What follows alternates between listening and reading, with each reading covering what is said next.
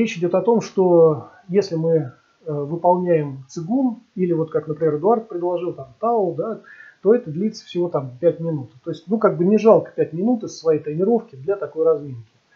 Ну, не знаю, мне жалко, например, во-первых.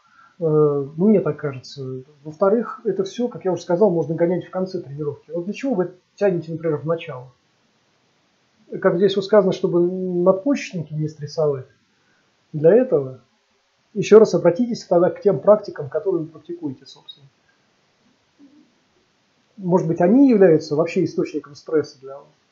Вот, кстати, почему многие э, завершают свой путь в боевых практиках, неважно, в спортивных единоборствах или боевых искусствах? Потому что как раз это является фактором постоянного стресса. А зачем мне этот стресс, когда я лягу на диван, э, подушку под голову и буду смотреть телевизор, какие-нибудь обормовские новости какие-нибудь, да и все, да? И меня это не сильно будет стрессовать.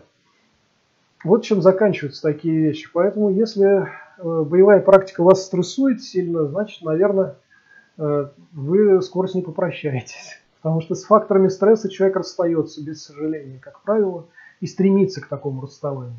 И чтобы оставаться в этом стрессе постоянно, да, нужно себя как-то заставлять это делать, что является тоже противоестественным каким-то занятием, мне кажется. так, идем дальше. Э, медитация, потом произвольное э, дыхание, цигун комплекс, затем все остальное по заданию. Начинающий первый год занимаются дибэнгун, э, в конце отжимания, приседания, но можно вообще без них. Тренировка ушу может выглядеть так. да, в боевых искусствах тренировка может выглядеть и так, и по-другому, и как угодно на самом деле может выглядеть.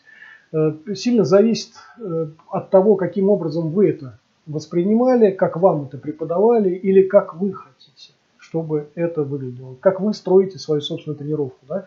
Когда мы говорим о самостоятельных тренировках, у вас есть большое пространство для маневра, и вы выбираете, как э, будет построена эта тренировка.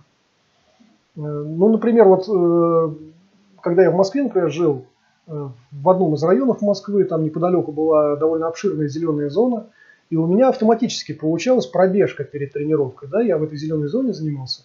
И чтобы до нее добраться, ну, наверное, я бегал туда, и, ну и бегал обратно, да.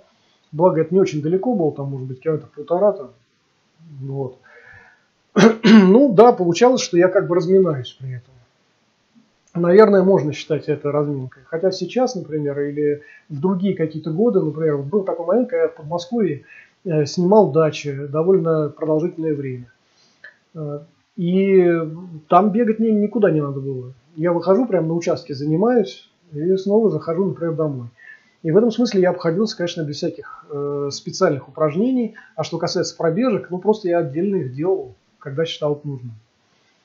Так, поэтому, когда мы говорим, может ли так выглядеть именно тренировка э, в связи с, вот, с разминкой, например, там, или еще с чем-то, ну, может так выглядеть, может не так.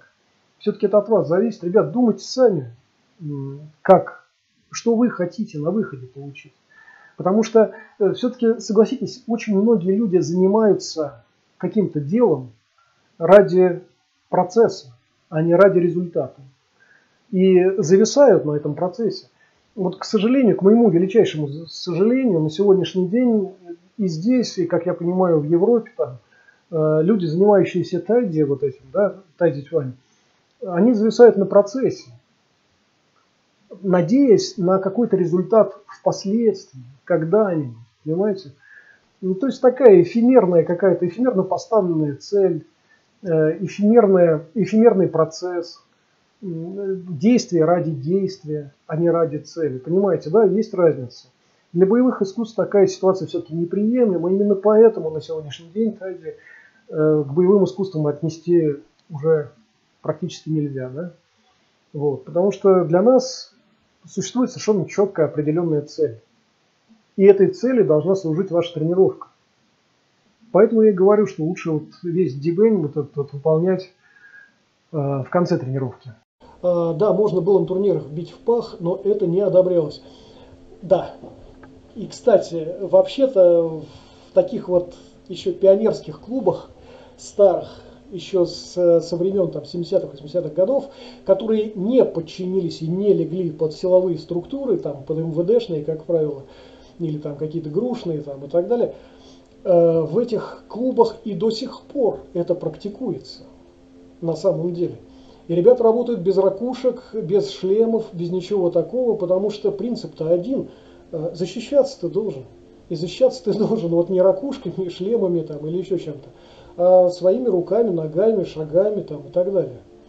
Так что, ну да, вот, вот так, наверное, должно быть. Но, правда, таких клубов становится все меньше и меньше, потому что пионеры, вот эти вот, пионерское движение, это все, ну, в смысле, те, кто был первым, да, оно, они все вымирают уже как динозавры, и я-то даже не отношусь еще к таким динозаврам. Нет, я тоже вымру, наверное, скоро как динозавр, э, потому что таких, как я, тоже становится все меньше и меньше. Но э, те, кто был до меня, ну, ребят были хорошие, реально крутые, сильные.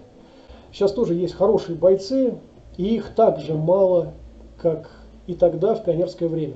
Но тогда люди, в некотором смысле, они были очень голодными. Понимаете, вот как голодный человек попадает в ситуацию изобилия, да, ему все интересно и все важно.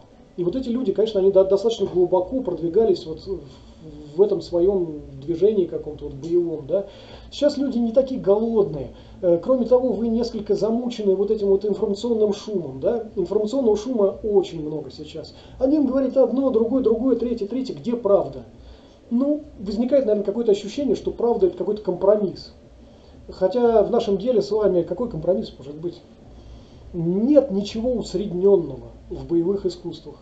Здесь все просто. Либо да, либо нет. Либо есть, либо нет. Все. Мне кажется, вот то, как я прочел, мне кажется, что вы говорите об искусстве ради искусства. А, то есть для того, чтобы лучше получился какой-то элемент, вы должны занять определенное положение. Да? Вы об этом, наверное, говорите. А, или шаг должен сообщить дополнительный импульс, например, какому-то элементу. Да? Э, я, в принципе, с этим согласен, это понятно, но опять, это искусство ради искусства.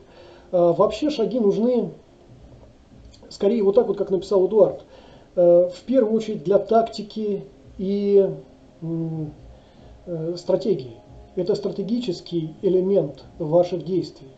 И именно поэтому на тот или иной шаг ложатся те или иные элементы. Все вместе, получается, да, становится техникой. То есть в данном случае уже искусство ради эффективности, а не искусство ради искусства. Да? Э, простите, кто не понял, я все время стараюсь разграничивать э, явление от явления, понятие от понятия, для того, чтобы в вашем сознании тоже вот проходила эта четкая грань между явлениями. Да? Э, это просто необходимо. Вы бойцы. Вы должны видеть, слышать, понимать все. А, не воспринимать все как мутную какую-то, как туман какой-то.